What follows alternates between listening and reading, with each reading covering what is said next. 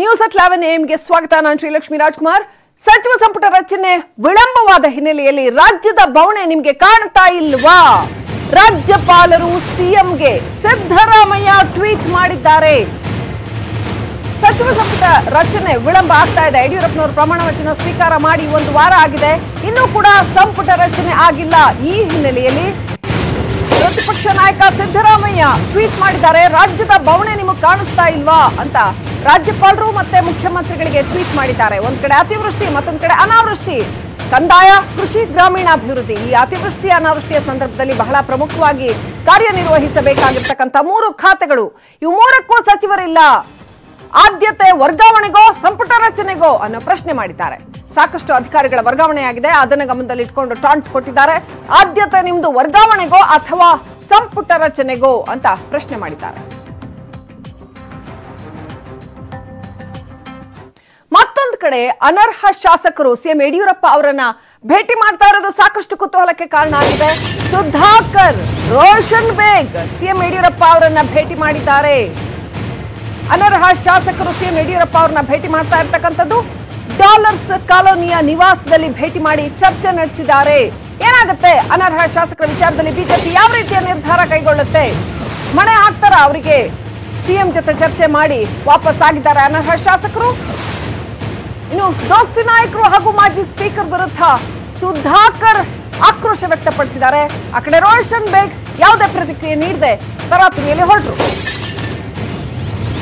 ಇದೆಲ್ಲದರ ನಡುವೆ ಕುತೂಹಲ ಅನ್ನೋ ಹಾಗೆ ಮಾಜಿ ಶಾಸಕ ಕೆ ಎನ್ ರಾಜಣ್ಣ, ಕಾಂಗ್ರೆಸ್ ಮುಖಂಡ ಕೆ ಎನ್ ರಾಜಣ್ಣ ಕೂಡ ಆಗಮಿಸಿದ್ದಾರೆ. ಸೊ ಸಿಎಂ ನಿವಾಸಕ್ಕೆ ಆಗಮಿಸಿ ಸಿಎಂ ಜೊತೆ ಚರ್ಚೆ ಮಾಡಿದ್ದಾರೆ. ಪದೇ ಪದೇ ಬಿಎಸ್ವೈ ಅವರನ್ನ ಕೆ ಎನ್ ರಾಜಣ್ಣ ಭೇಟಿ ಮಾಡ್ತಾ ಇದ್ದಾರೆ. ಯಾತಕ್ಕೋಸ್ಕರ ಅನ್ನೋ ಪ್ರಶ್ನೆ ಮೂಡಿದೆ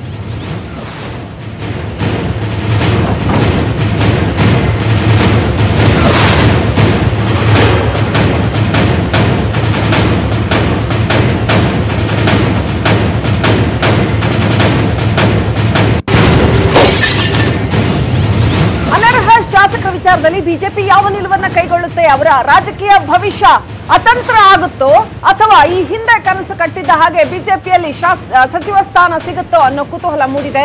ಸುಪ್ರೀಂ ಕೋರ್ಟ್ ಅಲ್ಲಿ ಅವರ ಅರ್ಜಿ ಬಾಕಿ ಇರತಕ್ಕಂಥದ್ದು. ಈ ಸಂದರ್ಭದಲ್ಲೇ ಪದೇ ಪದೇ ಬಿ ಎಸ್ ಯಡಿಯೂರಪ್ಪನವ್ರನ್ನ ಭೇಟಿ ಆಗ್ತಾ ಇದ್ದಾರೆ. ಅನರ್ಹ ಶಾಸಕರುಗಳು ರೋಷನ್ ಬೇಗ್ ಅವರು ಬಂದ್ರು, ಸುಧಾಕರ್ ಅವರು ಬಂದ್ರು. ಕೂಡ ಯಡಿಯೂರಪ್ಪನವ್ರನ್ನ ಭೇಟಿ ಆಗ್ತಾ ಇದ್ದಾರೆ. ಸಚಿವ ಸ್ಥಾನಕ್ಕೋಸ್ಕರ ಲಾಬಿ ಮಾಡ್ತಾ ಇದ್ದಾರಾ? ಅಥವಾ ಮುಂದಿನ ದಿನಗಳಲ್ಲಿ ಬಿಜೆಪಿಯ ಜೊತೆ ಇರಬೇಕು ಅನ್ನೋ ಕಾರಣಕ್ಕಾಗಿ ಆ ನಂಟನ್ನ ಇನ್ನಷ್ಟು ಗಟ್ಟಿಗೊಳಿಸ್ಕೊಳ್ಳೋದಕ್ಕೆ ಬರ್ತಾ ಇದ್ದಾರಾ? ಒಟ್ಟಲ್ಲಿ ಸಿಎಂ ಯಡಿಯೂರಪ್ಪ ಅವರನ್ನ ಅನರ್ಹ ಶಾಸಕರು ಬಂದು ಭೇಟಿ ಮಾಡಿದ್ದಾರೆ. ರೋಷನ್ ಬೇಗ್ ಅವರ ಭೇಟಿ ಕೂಡ ಸಾಕಷ್ಟು ಕುತೂಹಲ ಮೂಡಿಸಿದೆ.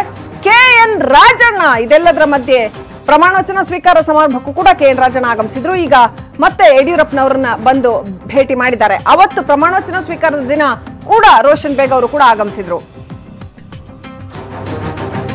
ಸೋಲ್ಸೋನು, ಗೆಲ್ಸೋನು ಎಲ್ಲ ಮೇಲಿದ್ದಾನೆ.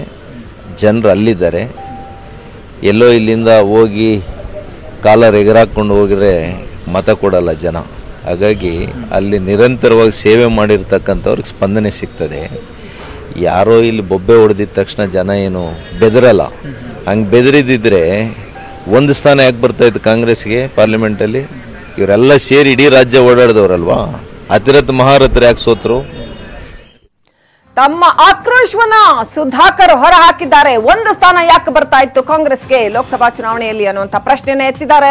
ಒಟ್ಟಾರೆ ಅನರ್ಹ ಶಾಸಕರ ಆಕ್ರೋಶ ಒಂದ್ ಕಡೆ ದೋಸ್ತಿ ಪಾಳೆಯದ ಮೇಲೆ, ಮತ್ತೊಂದು ಕಡೆ ಬಿಜೆಪಿಯಲ್ಲಿ ತಮ್ಮ ಭವಿಷ್ಯವನ್ನ ಗಟ್ಟಿ ಮಾಡ್ಕೊಳ್ಳೋದಕ್ಕೆ ಸಾಧ್ಯನಾ ಅಂತ ಯಾವೆಲ್ಲ ಕಡೆಗಳಿಂದ ಸಾಧ್ಯವೋ ಹಾಗೆಲ್ಲ ಪ್ರಯತ್ನ ಪಡ್ತಾ ಇದ್ದಾರೆ ಅಂತ ಹೇಳಲಾಗ್ತಾ ಇದೆ. ಸುಧಾಕರ್ ಅವರು ಬಿ ಎಸ್ ಯಡಿಯೂರಪ್ಪ ಅವ್ರನ್ನ ಭೇಟಿ ಮಾಡಿ ವಿಶ್ ಮಾಡಿದ್ದನ್ನ ಗಮನಿಸಬಹುದು ಹಾಗೆಯೇ ರೋಷನ್ ಬೇಗ್ ಅವರು ಬಂದು ಯಡಿಯೂರಪ್ಪ ಅವ್ರನ್ನ ಭೇಟಿ ಮಾಡಿದ್ರು. ಕೆ ಎನ್ ರಾಜಣ್ಣ ಕೂಡ ಬಂದು ಮುಖ್ಯಮಂತ್ರಿಗಳನ್ನ ಭೇಟಿ ಮಾಡಿದ್ದಾರೆ. ಇವೆಲ್ಲವೂ ಕೂಡ ಸಾಕಷ್ಟು ಕುತೂಹಲ ಕೆರಳಿಸ್ತಾ ಇದೆ.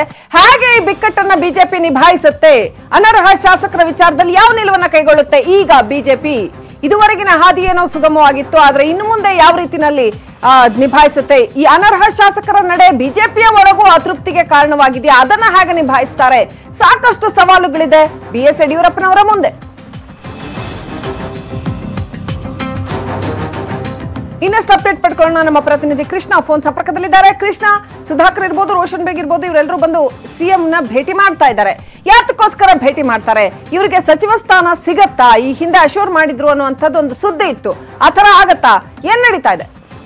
ಲಕ್ಷ್ಮಿ, ಮುಖ್ಯವಾಗಿ ಅನರ್ಹ ಶಾಸಕರು ಇದೀಗ ಮುಂದೆ ಏನ್ ಮಾಡ್ಬೇಕು ಅನ್ನೋದ್ರ ಬಗ್ಗೆ ಬಹಳ ಗೊಂದಲದಲ್ಲಿರುವಂತದ್ದು ಹೀಗಾಗಿಯೇ, ಆ ಬಿ ಎಸ್ ಯಡಿಯೂರಪ್ಪನವರ ಇವತ್ತು ಮೀಟ್ ಮಾಡಿ ಮಾತುಕತೆಯನ್ನ ನಡೆಸಿರುವಂತದ್ದು ಮುಖ್ಯವಾಗಿ ರೋಷನ್ ಬೇಗ್ ಆಗಿರ್ಬೋದು ಸುಧಾಕರ್ ಆಗಿರ್ಬೋದು, ಇಬ್ರು ಕೂಡ ಶಾಸಕರು ಅನರ್ಹ ಶಾಸಕರು ಬಂದು ಭೇಟಿ ಮಾಡಿ ಮಾತುಕತೆಯನ್ನ ನಡೆಸಿ ಹೋಗಿರುವಂತದ್ದು ಈಗಾಗಲೇ ಅವರ ಅನರ್ಹ ಶಾಸಕ ಈಗಾಗಲೇ ಸ್ಪೀಕರ್ ಏನು ಅನರ್ಹ ಮಾಡಿದ್ದಾರೆ. ಆ ಒಂದು ವಿಚಾರವಾಗಿ ಸುಪ್ರೀಂ ಕೋರ್ಟ್ ಅಲ್ಲಿ ವಿಚಾರಣೆ ಆಗುವಂತದ್ದು ಒಂದು ಒಂದು ವಾರ, ಎರಡು ವಾರ ಲೇಟ್ ಆಗುತ್ತೆ.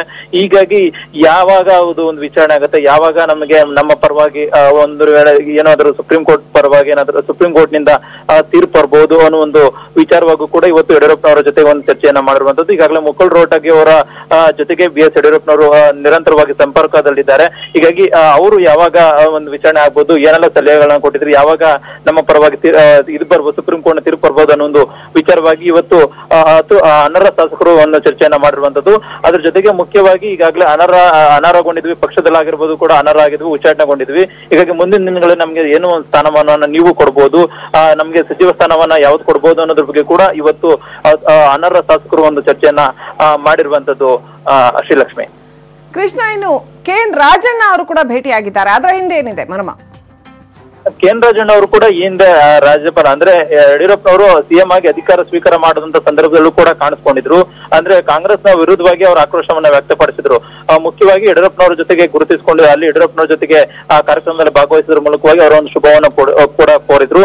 ಅದರಂತೆ ನಿನ್ನೆ ಕೂಡ ವಿಧಾನಸೌಧದಲ್ಲೂ ಕೂಡ ಭೇಟಿಯಾಗಿದ್ದು ಇವತ್ತು ಕೂಡ ಬೆಳಿಗ್ಗೆ ಯಡಿಯೂರಪ್ಪನವರ ನಿವಾಸದಲ್ಲಿ ಭೇಟಿ ಕೊಟ್ಟು ಯಡಿಯೂರಪ್ಪನವರ ಜೊತೆಗೆ ಒಂದು ಮಾತುಕತೆ ನಡೆಸಿರುವಂತದ್ದು ಮುಖ್ಯವಾಗಿ ಆ ಜನ ಅವರ ಬ್ಯಾಂಕ್ಗಳ ಸಂಬಂಧಪಟ್ಟ ಏನನ್ನು ಚರ್ಚೆ ಮಾಡಿದ್ದಾರೆ ಅನ್ನೋದು ಕೂಡ ಹೇಳಲಾಗ್ತಾ ಇದೆ ಶ್ರೀಲಕ್ಷ್ಮಿ. ಥ್ಯಾಂಕ್ ಯು ಕೃಷ್ಣ ಡೀಟೇಲ್ಸ್ಗಾಗಿ ಕೆ ಎನ್ ರಾಜಣ್ಣ ಭೇಟಿ ಮಾಡಿದ್ದಂಥದ್ದು ಬಹಳ ಕುತೂಹಲಕಾರಿಯಾಗಿದೆ. ಪ್ರಮಾಣ ವಚನ ಸ್ವೀಕಾರ ಸಮಾರಂಭದಲ್ಲೂ ಕೂಡ ಬಂದು ಭೇಟಿಯಾಗಿ ಹೋದರು. ಬೇರೆ ಯಾವ ಮುಖಂಡರು ಕೂಡ ಬರಲಿಲ್ಲ ಕಾಂಗ್ರೆಸ್ ಪಾಳ್ಯದಿಂದ. ಆದರೆ ಕೆ ಎನ್ ರಾಜಣ್ಣ ಬಂದು ಭೇಟಿ ಮಾಡಿ ಹೋಗಿರ್ತಕ್ಕಂಥದ್ದು. ಈಗಲೂ ಕೂಡ ಮತ್ತೆ ಬಂದು ಬಿ ಎಸ್ ಯಡಿಯೂರಪ್ಪ ಅವರನ್ನ ಭೇಟಿ ಮಾಡಿರ್ತಕ್ಕಂಥದ್ದು ಸಾಕಷ್ಟು ಕುತೂಹಲಕ್ಕೆ ಕಾರಣವಾಗಿದೆ. ಮಹಾರಾಷ್ಟ್ರದಲ್ಲಿ ಮಳೆ, ಬೆಳಗಾವಿ ಜಿಲ್ಲೆಯಲ್ಲಿ ನೆರೆ